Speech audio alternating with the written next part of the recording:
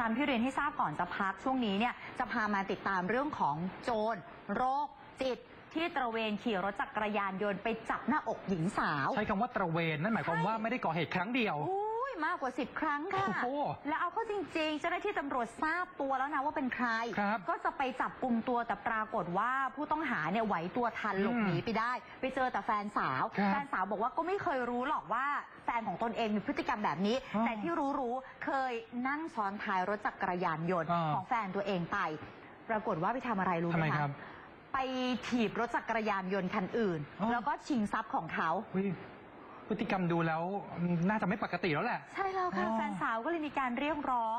เดินทางเข้ามามอบตัวกับทางเจ้าหน้าที่ตำรวจเถอะอืม โทษหนักจะได้กลายเป็นเบา อย่างที่บอกไว้อะนะคะ ว่าเหตุการณ์ในครั้งนี้เนี่ยมีภาพจากกล้องโทรทัศน์วงจรปิดจับภาพเหตุการณ์ไว้ได้ แล้วผู้เสียหายเนี่ยเขาก็นำไปแชร์ในโลกออนไลน์อะค่ะอืมเพื่อที่จะให้หาตัวคนที่ก่อเหตุให้เจอจนสุดท้ายอย่างที่เรียนให้ทราบก็ทราบรู้แล้ว แล้วว่าเป็นใคร ใช่แล้วค่ะ หญิงสาวอายุ 35 ปี เป็นผู้เสียหายนะคะนำเอาหลักฐาน ภาพจากกล้องวงจรปิดเข้าแจ้งความที่สถานีตำรวจภูธรพระสมุทรเจดีย์จังหวัดสมุทรปราการค่ะ หลังจากที่เกิดเหตุคนร้าย ขี่รถจักรยานยนต์ตามประกบรถจักรยานยนต์ของผู้เสียหาย แล้วยื่นมือไปจับหน้าอก จากนั้นก็เร่งเครื่องหลบหนีไป จุดเกิดเหตุอยู่ที่บริเวณหน้าปากซอยอำเภอพระสมุทรเจดีย์เมื่อวานช่วงสายนะคะ ผู้เสียหายเขาเล่าให้ฟัง บอกว่าเขานำภาพเหตุการณ์ไปโพสต์ใน Facebook เพื่อที่จะให้โซเชียลมีเดียช่วยกันแจ้งเบาะแสคนร้าย แล้วก็ได้รับข้อมูลนั่นแหละว่าคนร้ายเคยก่อเหตุมามากกว่า 10 ครั้งก็ใช้รถจักรยานยนต์ Honda Wave สีแดง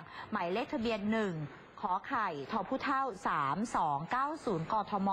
ตระเวนก่อเหตุทั่วเมืองสมุทรปราการ ผู้เสียหายทั้งหมด จึงนัดรวมตัวกันไปแจ้งความตำรวจก็ลงพื้นที่ตรวจสอบ แล้วก็ทราบว่าผู้ก่อเหตุเนี่ยมีชื่อว่านายประพัฒน์บุญนำพาอายุ 27 ปีทำงานอยู่ที่ร้านโจ๊กในตลาด เขาทำหน้าที่ในการทอดปลาท่องโกะค่ะ แต่ว่าผู้ก่อเหตุไหวตัวทันแล้วก็หลบหนีไปได้ จากการสอบถามแฟนของผู้ก่อเหตุเขาเล่าให้ฟัง ว่านายประพัฒน์เนี่ยเป็นพนักงานขับรถหกล้อของบริษัทแห่งหนึ่ง ย่านพระสมุทรเจดีย์นั่นแหละ ช่วงเย็นหลังเลิกงานเขาจะมารับทอดปลาท่องโกะที่ร้านโจ๊ก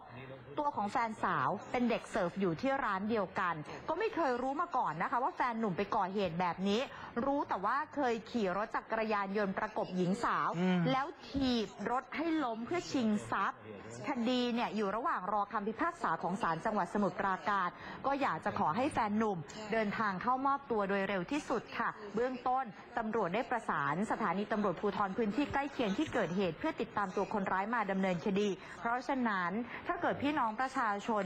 พบเบาะแสสามารถแจ้งไปที่เจ้าหน้าที่ตำรวจได้เลยค่ะ หมายเลขโทรศัพท์ หมายเลขเดิมจำง่ายๆ 191 ค่ะ